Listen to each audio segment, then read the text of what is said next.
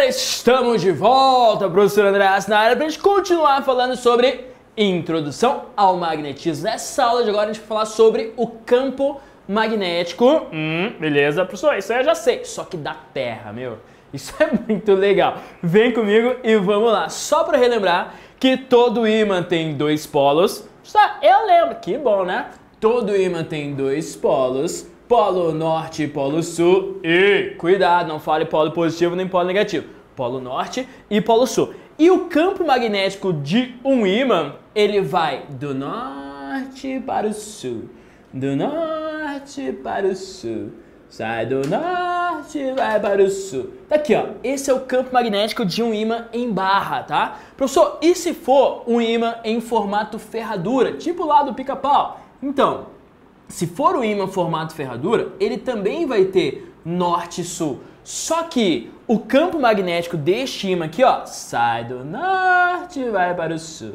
Sai do norte e vai para o sul. Sacou? E isso, inclusive, é o que a gente vai chamar de campo magnético uniforme. Boom! Isso aqui vai ser muito importante para depois, tá? Campo magnético uniforme, quer dizer que em todos os pontos, já que a densidade de linhas é a mesma em todos os pontos, quer dizer que a intensidade do campo é igual em todos os pontos. Ó, beleza. Mas deixa isso mais pra frente aí, não é o nosso objetivo para essa aula, só para te uh, localizar no esquema. Beleza, povo? Só que a nossa Terra ela também tem um campo magnético. Sério, prof? Tem, meu. E isso é muito legal e importante pra gente. Por quê? Porque se a Terra não tivesse esse campo magnético, provavelmente nós não estaríamos aqui, porque esse campo magnético ele é um escudo, meu, um escudo protetor da Terra. Professor, todos os planetas têm campo magnético? Não. Aí é que tá. Sacou? Ó, nem todos os planetas têm campo magnético. Tem planetas que têm campo magnético bem mirradinho e tem a Terra que tem um, um campo magnético que protege a gente aí. Só que o campo magnético da Terra, deixa eu te revelar uma coisa já de cara. A gente não sabe responder ainda o porquê exatamente ele existe ou como exatamente ele existe. O que, que a gente fala? Ó, no centro da Terra você tem um núcleo de ferro, beleza? E tem lá a lava e tem lá correntes elétricas muito intensas. E a gente já já conversou em, alguma, em algum momento da nossa história que corrente elétrica gera campo magnético. Sacou? Então as correntes elétricas lá do centro da Terra, muito intensas, elas que gerariam um campo magnético da Terra. Só que o campo magnético da Terra, ele é de um jeitão bem característico, ele é de um jeitão bem específico o desenho dele parece com campo magnético de um ímã em barra. Então é como se, ei, não tem, tá? Mas é como se lá dentro da Terra tivesse um ímã em barra. O campo magnético que aparece ao redor da Terra é no estilo do campo de um ímã em barra. Sacou? Beleza? Só que tem um detalhe. Note que eu coloquei o ímã mais inclinadinho. Você notou isso? Notou que eu coloquei o ímã mais inclinadinho? Pois é, o, o polo aqui do ímã, ele não se alinha com o polo da Terra. Então aqui está o polo norte, né? Beleza. E aqui está o polo magnético da Terra, o polo magnético desse ímã aqui. Tem uma cer um certo ângulo entre eles, sacou? E tem outro detalhezinho que é muito legal, que é o seguinte, aqui ó, como se tivesse um ímã em barra lá dentro. Aqui vai ser o norte e aqui vai ser o sul. Então desenha o campo para mim. Desenha, professor. Ficou fácil agora, hein? Pois é. Sai do norte e vai para o sul. Sai do norte e vai para o sul. Tá aí, o campo magnético da Terra é nesse jeitão aqui, saindo do norte e indo para o sul. Sacou? Só que você notou que no norte geográfico da Terra, o que, que eu tenho? Eu tenho um sul magnético no norte geográfico da Terra, eu tenho um sul magnético. E no sul geográfico, eu tenho um norte magnético. Então, anota isso aí pra mim. Ó, aqui em cima é norte geográfico, né? Tem lá o, o polo norte, que você aprende na geografia, por aí vai. Norte geográfico. Beleza, prof. Só que apontado para cima, no magnetismo, né, no, no campo magnético, eu tenho um sul magnético. Então não esqueça disso aí. É, é meio que invertido, né? Norte e sul ali. E aqui embaixo eu tenho o sul geográfico. Hum, professor. Geográfico. E é o norte magnético. E isso aqui vai fazer muito sentido para você. Sabe por quê? Porque, ó, quando você pega uma bússola, pega o que, professor? Uma bússola. O que é uma bússola? Uma bússola é uma agulha imantada. Fala aí de novo, pessoa que eu não entendi. Você falou muita palavra difícil aí. Uma bússola, ela é uma agulha imantada. É ela é uma agulha que é um ímã. É. Então, uma bússola a gente vai representar assim, ó. Se liga. Toda vez que vier esta representação, isso é de uma bússola. Quando tiver um lado pintadinho, e toda bússola tem um lado pintadinho, né? Aqui da minha agulha, representa o polo norte da, da, da agulha. E o outro lado, o polo sul. Beleza? Então, a bússola é uma agulha que é um ímã. E quando eu utilizo ela, ela seguia pelo campo magnético da Terra. O norte apontando para o norte geográfico. Hum, por que, que o norte aponta para o norte geográfico? Porque lá tem um sul magnético. Bum! Tudo se encaixa. Sacou a ideia? Então, ó, norte aponta para o norte porque lá tem um sul magnético. E um detalhe, se você fizer uma loucura aí, professor, vou fazer uma loucura aqui, né? Eu gosto de viajar e eu tenho sonho, professor, de, de ser mochileiro, colocar a mochila nas costas e sair pelo mundo afora viajando. Beleza, faz isso, muito legal. Um, eu já fiz, inclusive. Mas ó, você pega a mochila e você vai seguir a bússola. Então, teu sonho de consumo é seguir a bússola. Aonde a bússola me levar? Olha que poética. Se você seguir a bússola, você não vai chegar no polo norte da Terra. Você vai chegar, sabe aonde? Você vai chegar muito provavelmente lá pelo Canadá, numa ilha chamada de Ellesmere. É nessa ilha que você vai chegar. Por quê? Porque tem uma inclinação entre o norte geográfico e o sul magnético. Sucesso? Tudo bem? Então, lembre-se que a bússola é uma agulha imantada. É uma agulha que é um imã. Professor, tem como eu imantar agulhas aqui em casa? Tem. Sabe como se faz? Você pega um imã, de preferência um imã potente, pode ser um imã de neodímio ou de terras raras. Ó, você pega lá uma agulha, aquela que tua mãe utiliza para, ou o papai utiliza para costurar tal, né? Você pega a agulha e atrita com o imã. Só atritar, professor? É, você fica atritando lá, daqui a pouco você tem uma agulha que é um imã, uma agulha imantada, sacou? Então fica a ideia aí para você. E por que, que é importante a Terra ter campo magnético? Porque o Sol, ele está explodindo a todo momento. O Sol ele funciona por fusão nuclear, certo? Então, lá dentro do Sol eu tenho hidrogênio, olha isso, hidrogênio se fundindo, se transformando em hélio e isso libera muita energia. Só que essa liberação de energia muitas vezes é através de vento solar. Sabia que tem isso? Vento solar? É, vento solar é quando o Sol manda partículas carregadas e super energéticas tudo que é lado. E um dos lados é onde a gente está, né? Então ele manda partículas carregadas, imagine, manda partículas carregadas com uma velocidade muito enorme na direção da Terra. Beleza, prof. Esta partícula mega carregada vai chegar aqui no campo magnético da Terra e vai sofrer um desvio. Ah, professor, então esse escudão desvia esse vento solar? Isso.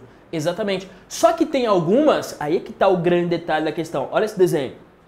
Ó, vem o vento solar, tem aqui o campo magnético da Terra e está sendo desviado essas partículas. Beleza, prof. Só que tem algumas partículas que são desviadas, mas mesmo assim consegue entrar pelos polos. E quando ela consegue entrar pelos polos, que se choca com a atmosfera, com os gases da atmosfera, acontece o que você aprendeu na química como sendo salto quântico. Professor, o que, que é isso? Essa partícula entra, bate na atmosfera e daí o elétronzinho ele recebe essa energia, pula de camada. Quando ele volta, emite luz. O que, que é isso? Aurora boreal. Povo, escreve aí no papelzinho. Eu tenho que ver uma aurora boreal ao vivo antes de falecer.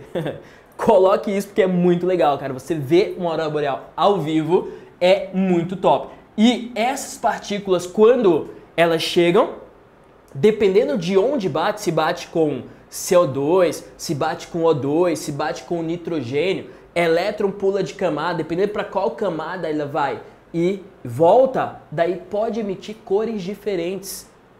Nossa, professor. Então a aurora boreal é tipo assim, você vai lá para perto do Polo Norte, viaja lá de trem lá para Europa tal, vai ou para os Estados Unidos, lá para o Alasca. Você vai lá tal e fica esperando a coisa acontecer. No inverno, melhor época, porque no inverno tem mais escuridão do que claridão, né? Então você vai no inverno e fica lá frio pra dedéu e você fica lá esperando a coisa acontecer. Tipo, só isso, fica lá fora esperando. E de repente, cara, não mais que de repente, está lá esperando e começa a, a brilhar a luzinha no céu, você começa a olhar, hum, que interessante. Mas aqui, da, aquela luzinha começou a brilhar, ela preenche o céu inteiro, assim. Tipo uma luzinha que preenche o céu inteiro e daí parece um véu Sabe, sabe quando a cortina da tua casa tá, tá meio balangandanga assim por causa do vento? É tipo assim a luz percorrendo o céu. E daí vem aquela luz verde, que é a mais a que mais aparece. Daí vem luz vermelha, vem uma coloração meio rosa. Meu, é muito show. Só, você já viu ao vivo? Já tive a oportunidade de ver ao vivo e vale muito a pena, tá? Fica a dica aí para você. A aurora boreal acontece no norte. A aurora austral acontece no sul. Por que, que a gente fala mais da aurora boreal? Porque aqui tem bastante continente para você pisar lá e ficar esperando. Aqui tem bastante água, então aqui é mais difícil de ver porque você tem que ir de barco, navio e tal. Então, mas é a mesma coisa, tá? Ah, mas a gente fala mais da aurora boreal porque é mais fácil de ver porque tem continentes lá, você pode viajar de trem pela Europa e pelos Estados Unidos sem problema nenhum. Beleza? Então, esse escudão aí, ele produz, ele provoca estas auroras isso é muito legal, mas nos protege dessa radiação, dessa parte, dessas partículas que o Sol manda. Show? Beleza? Tá. Mais uma coisa. Professor, a bússola funciona, a bússola a gente desenha assim, né? Isso. Se eu colocar, olha perguntinhas de vestibular agora.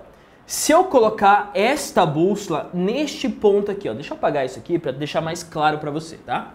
Aqui, ó. Se eu colocar esta bússola neste ponto aqui, para onde que ela vai apontar? Exatamente naquele ponto. Para onde que ela vai apontar? Se liga, cuidado.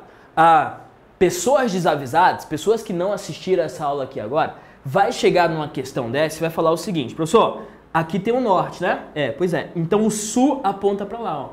Não é isso? Não, tá errado. Por quê? Porque a bússola, ela segue a linha de campo. A bússola segue a linha de campo. Ela se alinha com a linha de campo. se alinha com a linha de campo. Sacou? Então, ó, quando eu colocar a bússola aqui, ela vai fazer assim, ó. A linha de campo tá indo para cá. Neste ponto tá indo para cá, né? Então ela vai virar para cá. E aqui, ó.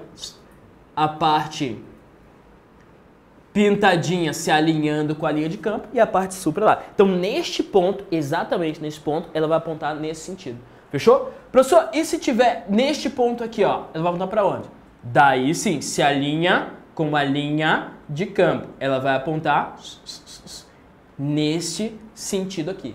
Sucesso? Beleza? Então é sempre assim, cuidado com isso. E daí eu trouxe uma questão que foi o seguinte, ó. Antes da questão, deixa eu só te mostrar. Campo magnético uniforme. Isso aqui é só um spoiler do futuro, tá? que eu trago para você para você ter uma noção. A gente vai mexer bastante isso aqui mas por agora tá sossegado. Ó, se liga nessa questão. Olha que questão legalzinha. O EFS 2018 fala o seguinte: a figura representa um ímã em forma de barra, seus dois polos magnéticos, norte e sul, e algumas linhas de indução contidas no plano da figura do campo magnético criado pelo ímã. Beleza? Então desenhei os campos aqui. Sobre essas linhas estão assinalados os pontos de A até H. A até H. Beleza, prof? Desprezando a ação de quaisquer outros campos. O vetor campo magnético criado por este ímã tem a mesma direção e o mesmo sentido em quais pontos. Então deixa eu apagar aqui e vai tentando resolver essa parada aí pra mim, tá? Enquanto eu apago. E aí, já? Ai, legal, mano. Tá bom, tá bom. Vou desenhar aqui então, enquanto isso. Tá, polo norte, polo sul. Sai do norte norte, vai para o sul. Sai do norte, vai para o sul. Sai do norte, vai para o sul. Aí, o ponto C é mais ou menos aqui, o ponto G aqui, o ponto F aqui, ponto D aqui, ponto E aqui ponto A, aqui ponto H, aqui ponto B, aqui. Beleza, povo? Olha isso agora. Vamos lá? Ó, ele quer saber, eu vou colocar bússolas ali. E já fica com a ideia na cabeça que a bússola se alinha com o campo magnético que ela está imersa, tá? Ela não precisa se alinhar com o campo magnético da Terra sempre. Se tiver um ímã pertinho ali da bússola, ela seguia com o campo magnético do ímã, sacou? Então se liga. Beleza. E ele quer saber para onde que a bússola aponta para uma mesma direção e mesmo sentido, em quais pontos. Vamos lá, povo. Ó, se eu colocar a bússola no ponto, vou começar aqui pelo ponto G. Se eu colocar no ponto G, a bússola vai apontar para onde? Ela segue o campo magnético. Então aqui, ó, segue o campo magnético. Polo norte sempre apontado para onde a linha de campo está indo. Fechou? Aqui no H, vamos lá. Linha de campo está indo para cá, né? Então aqui vai estar tá indo mais ou menos, professor, nessa direçãozinha aqui. Ó, isso é, essa questão é um bom treino, tá? Não me erre essa questão numa, num, no material, num vestibular no Enem que você for fazer aí. Ó, no ponto F, linha de campo tá para baixo. Lembrando, sai do norte e vai para o sul. Então aqui, ó, para baixo. Ponto E, ponto E tá para lá, né, prof? Isso, então ponto E tá mais ou menos para cá assim, né? Sai do norte e vai Ponto D. Ponto D agora, a linha de campo está indo para cima. Então naquele ponto está para cima a linha de campo. Então eu vou colocar minha bússola aqui, ó. Aí. Fechou? Ponto C. Ponto C tá para cá, né, prof? Isso. Ponto C é facinho, né? Só, todos são facinho. Ah, que bom, né, que você acha isso. Ponto B. Ponto B tá aqui para baixo. Hum. Por quê? Porque sai do norte e vai para o sul. Então aqui, ó. Ponto D. Ponto D tá entrando aqui, prof. Ponto A, no caso. Tá entrando aqui, ó. Faltou algum? Não. E ele quer saber, olha que bonitinho ficou o desenho. ficou bonito mesmo, hein, prof? É, pois é. Vamos lá. E ele quer saber o quê? Ele quer saber quais dos pontos eu tenho para a mesma direção e mesmo sentido. Vamos lá. B e H? B e H. H tá onde? B e H. Não, B e H não. B e D? B e D. B e D. Também não. Uh, e e G, vamos lá? E e G, E e G, E e G, E e G. Não. A e C, A e C. Não. D e H. D, D, D, D, D e H. Bum! Fechou? Letra E é a resposta correta dessa questãozinha aí. Sucesso? Beleza? Então, é isso, povo. Eu deixo uma questãozinha para você. Ó, cuidado faça a questão cuidado. O que, que o imã ele atrai? Tenta responder essa aí. E é isso. Valeu, galera. Professor André fica por aqui. Até a próxima. Thank you.